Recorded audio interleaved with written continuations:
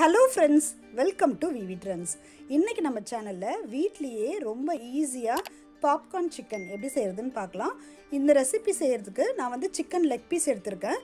ஒரு எட்டு பீஸ் கிட்ட எடுத்திருக்கேன். நல்லா அந்த ஸ்லிட்ஸ் மாதிரி போட்டுக்கோங்க. அப்போ தான் மசாலாலாம் உள்ளே இறங்கும். இது ஏற்கனவே மஞ்சள் தூள் உப்பெல்லாம் போட்டு வாஷ் பண்ணி எடுத்திருக்கேன். ஃபஸ்ட்டு இது எல்லாமே பவுலில் மாற்றிக்கலாம் இது கூட நான் வந்து கொஞ்சமாக வந்து மஞ்சள் தூள் அப்புறமா மிளகாய் தூள் வந்து ஒரு கால் டேபிள் ஸ்பூன் சேர்த்துருக்கேன். மல்லித்தூள் வந்து ஒரு அரை டேபிள் ஸ்பூன் அப்புறமா கொஞ்சமாக வந்து கரம் மசாலா அதுக்கப்புறம் மிளகு சீரகத்தூள் இதெல்லாம் சேர்த்துக்கலாம். நான் வந்து ஃப்ரெஷ்ஷாக அரைச்சி போட்டிருக்கேன் பெப்பர் இல்லைனா பெப்பர் பவுடரும் சேர்த்துக்கலாம். கடைசியாக இதுக்கு தேவையான அளவு உப்பு.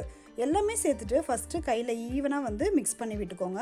இந்த இந்த ஸ்லிட்ஸ் போட்டிருக்கோம் இல்லையா அது உள்ளெல்லாம் அந்த மசாலாலாம் தடை விடணும் அப்போ தான் நல்லா உப்பு காரம்லாம் உள்ளே இறங்கும். இப்போது ஒரு மிக்ஸி ஜாரில் ஒரு நாலு பல்லு பூண்டு சின்ன துண்டு இஞ்சி சின்ன துண்டு வெங்காயம். இதை வந்து தண்ணி ஊற்றி நல்ல பேஸ்ட் மாதிரி அரைச்சி ரெடியாக எடுத்து வச்சுக்கலாம். இப்போ இந்த பேஸ்ட் ஆட் பண்ணிக்கலாம்.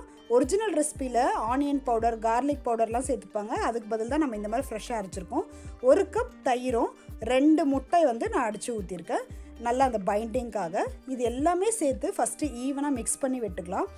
இதை வந்து ஃப்ரிட்ஜில் வந்து ஒரு டூ டு த்ரீ ஹவர்ஸ் கண்டிப்பாக இருக்கணும். நெக்ஸ்ட்டு ஒரு பிளேட்டில் வந்து மைதா ஒரு கப்பும் அரை கப் வந்து சோள மாவு. இது ரெண்டும் போட்டிருக்கேன். இது கூட நம்ம வந்து கொஞ்சம் மசாலாலாம் ஆட் பண்ண போகிறோம் கொஞ்சமாக மிளகாய் தூள் அப்புறம் சீரகத்தூள் கொஞ்சம் அதுக்கப்புறம் பெப்பர் வந்து ஃப்ரெஷ்ஷாக கிரைண்ட் பண்ணி போட்டிருக்கேன். அரை டீஸ்பூன் அளவுக்கு. இல்லைனா பெப்பர் பவுடரும் சேர்த்துக்கலாம். அதுக்கப்புறமா நான் வந்து ஆரிகானோ சேர்த்துருக்கேன் ஒரு அரை டீஸ்பூன். ஒருவேளை இது இல்லைன்னா இது நீங்கள் ஸ்கிப் பண்ணிக்கலாம். அதுக்கப்புறம் கடைசியாக இது இந்த மசாலாக்கு தேவையான உப்பு. இது எல்லாமே சேர்த்துட்டு நம்ம ஃபஸ்ட்டு இது எல்லாமே ஈவனாக மிக்ஸ் பண்ணிகிட்ருக்கலாம் இந்த மாவை வந்து ரெண்டாக டிவைட் பண்ணிக்கலாம். ரெண்டு டைம் நம்ம கோட் பண்ண போகிறோம் ஃபஸ்ட்டு கோட்டிங் வந்து ஃப்ரிட்ஜ்லேருந்து மூணு மணி நேரம் கழித்து எடுத்திருக்கேன். இதில் இந்த பீஸ் எடுத்துகிட்டு அந்த மசாலாலாம் எதுவுமே இருக்கக்கூடாது. அது நல்லா ட்ரெயின் பண்ணிவிட்டு அதுக்கப்புறமா இந்த மாவில் வந்து கோட் பண்ணணும். இந்த கோட்டிங் வந்து நம்ம ப்ராப்பராக கொடுத்தா தான் நல்லாயிருக்கும் இது நல்லா நல்லா வந்து அந்த எக்ஸஸ் மாவெல்லாம் தட்டி விட்டுடலாம் இப்போ இதெல்லாம் வந்து ஒரு பிளேட்டில் அடுக்கி வச்சிடலாம். நான் வந்து எல்லாமே இந்த மாதிரி அடுக்கி வச்சுட்டேன். இப்போ திரும்பவும் செகண்ட் கோட்டிங் திரும்பவும் அதை எடுத்து திரும்பவும் அந்த மாவில் கோட் பண்ணிவிட்டு அதை வந்து நல்லா ட்ரெயின் பண்ணிவிட்டு அடுத்தது இந்த இன்னும் கொஞ்சம் மாவு வச்சுருக்கோம் இல்லையா? அதில் ரெண்டாவது கோட்டிங் நம்ம இந்த மாதிரி கொடுக்கணும்.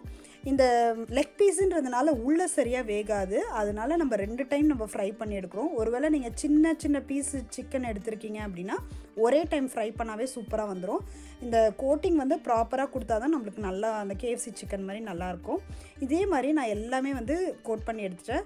மேக் ஷூர் உங்கள் கையை வந்து அடிக்கடி கழுவிக்கோங்க. ஒரு நாலு பீஸ் கோட் பண்ண பிறகு கையை கழுவிட்டு பண்ணுங்கள் இல்லைன்னா மாவு வந்து உங்களுக்கு ஃபுல்லாக வேஸ்ட் ஆகிடும் அதனால் இப்போ எல்லாமே ரெடியாக இருக்குது இப்போ வந்து எண்ணெயும் நான் சூடு பண்ணி ரெடியாக வச்சுருக்கேன். இப்போது இதை வந்து டீப் ஃப்ரை பண்ணிக்கலாம். கொஞ்சம் கொஞ்சமாக பேட்ச் பை பேட்சாக போட்டு லோ டு மீடியம் ஃப்ளேமில் வச்சு நம்ம வந்து ட்ரை இதை வந்து ஃப்ரை பண்ணணும். இது பொரிக்கும் போது ரொம்ப கேர்ஃபுல்லாக பொரிக்கணும். ரொம்ப கொஞ்சம் தீ வந்து அதிகமாக இருந்துச்சு அப்படின்னா உள்ளே வேகாத மாதிரி ஆகிடும் மேலே வந்து சீக்கிரமாக ப்ரௌன் ஆகிடும் ஸோ அதனால் லோ டு மீடியம் ஃப்ளேமில் வச்சுட்டு மெதுவாக ஃபஸ்ட்டு பேட்ச் நான் பொறிச்சு எடுத்துட்டேன்.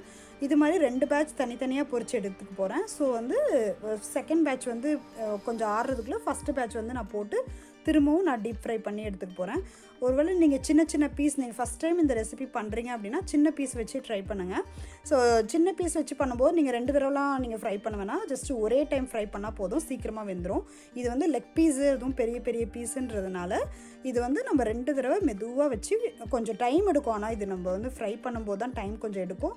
இது ஃப்ரை பண்ணி முடிச்ச உடனே சூப்பராக ரெடி ஆகிடுச்சு நம்மளோட பாப்கார்ன் சிக்கன் இது வந்து டொமேட்டோ சாஸ் கூட மயோனிஸ் கூட ரொம்ப எக்ஸலண்ட்டாக இருக்கும். இப்போ பாருங்கள் உள்ளெல்லாம் நல்லா வெந்திருக்கு. கண்டிப்பாக இந்த ரெசிபி உங்கள் எல்லாருக்கும் பிடிச்சிருக்கோன்னு நினைக்கிறேன். இந்த வீடியோ பிடிச்சிருந்துன்னா மறக்காமல் விவி ட்ரெண்ட்ஸ் சேனலுக்கு சப்ஸ்கிரைப் பண்ணுங்கள் தேங்க்ஸ் ஃபார் வாட்சிங் ஃப்ரெண்ட்ஸ்